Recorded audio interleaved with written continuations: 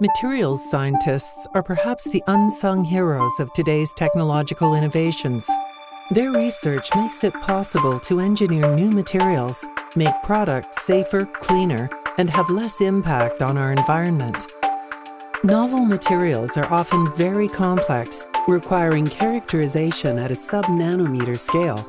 Transmission electron microscopy is an established technique which enables investigation of the material structure to understand and further improve its properties. Thermo Fisher Scientific has over 30 years of experience developing sample preparation instruments and designing software that enables in situ and site-specific TEM sample preparation, tools that allow researchers to accelerate their research and fast-track innovation. In 1989, Thermo Fisher Scientific developed its first single beam gallium FIB, allowing submicroscale site specific material removal. I don't think anybody realized what a revolution the FIB instruments would be. For example, I'd spent probably four or five years on my own research in the, in the PhD preparing samples for the transmission electron microscope. And I can tell you that the first sample I ever produced that was worth looking at took me six months to prepare. You know, trying different polishing techniques, trying different um, what they call ion beam thinning techniques at the time to try and get a little bit of electron transparent area to look at. When this FIB instrument first came in, I tried one of my samples to prepare it in that instrument. It took me probably the best part of two or three days, but it, it was just an enormous uh, relief so being able to localize uh, a sample preparation for the transmission electron microscope in those particular areas has allowed the speeding up of research in uh, right across the board. So whether it be an, an you know an aircraft alloy uh, for the improvement of, of alloys in, in that industry or turbine blades for engines, that wouldn't have been possible at the rate of change without these instruments. In 1993, Thermo Fisher introduced the world's first dual beam system, the Dual Beam 620. This new instrument combined focused ion beam and scanning electron microscopes into a single platform.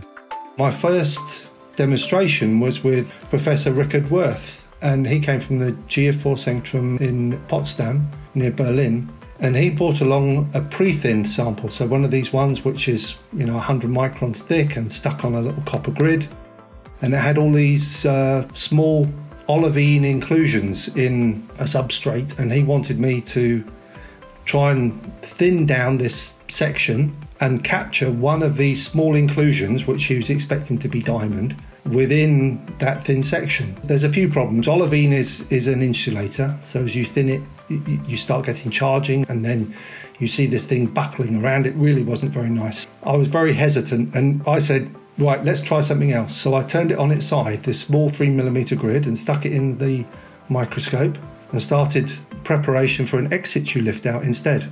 So that's the image I've shown previously, and, and there you see these thin sections on the surface where each one I've gone to thin down on a diamond inclusion. We lifted them out, and he immediately got his results. And what he said later on was that this was the first time he'd managed to get results from this. And so this ex situ lift out meant that we could aim at a particular feature, so these little inclusions of diamond, and that we could thin it down in a more consistent way rather than the pre-thinned.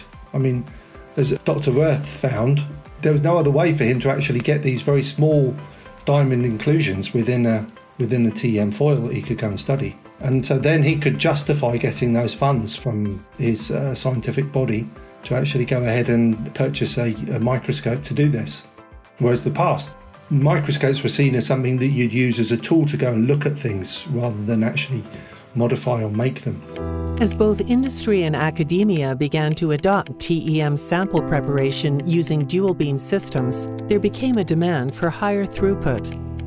In 1998, Thermo Fisher addressed this need for automation with the first generation AutoTEM software.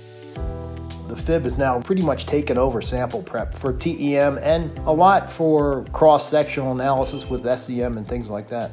In that 2000 to 2005 timeframe, we got used to using the FIB and making samples so quickly that the TEM operators were no longer just sitting there waiting for the best sample to come along. That really was a game changer for us.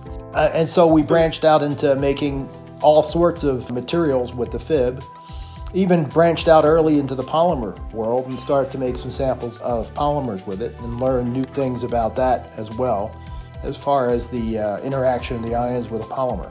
Thermo Fisher has always seemed to be at the forefront of automation. The automation, starting back in the early 2000s, really made a difference in throughput and our capacity in the laboratory to, to keep up with the sample demand.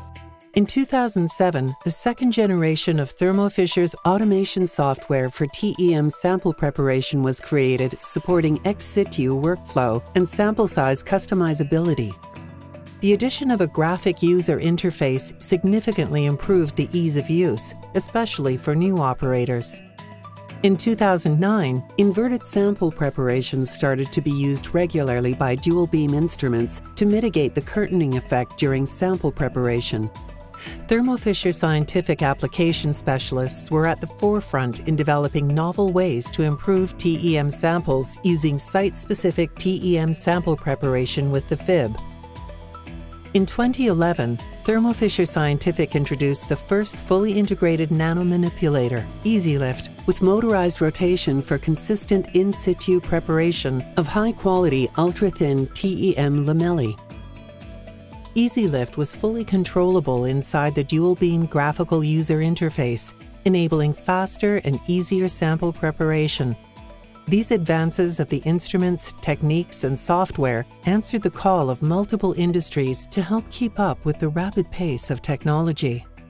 For example, the development of dual phase steels for lighter and cheaper automotive bodies, clean energy solutions with solar cells, new generation batteries, and energy storage, smaller and more economical semiconductor devices, and lighter and stronger composite materials for the aerospace industry just to name a few.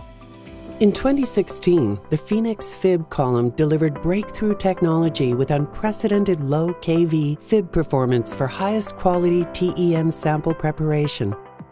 In 2019, AutoTem 5 revolutionized automated sample preparation for users of all skill levels, it was the first time fully automated sample preparation, including in situ lift out with the EasyLift manipulator, was commercially available on the Helios dual beam for all materials. Now, anyone, not just the highly skilled operators of yesteryear, can reliably produce high quality ultra thin TEM samples on a dual beam. Also in 2019, Thermo Fisher Scientific introduced the world's first commercial instrument with fast, switchable, multi-ion species PFib source.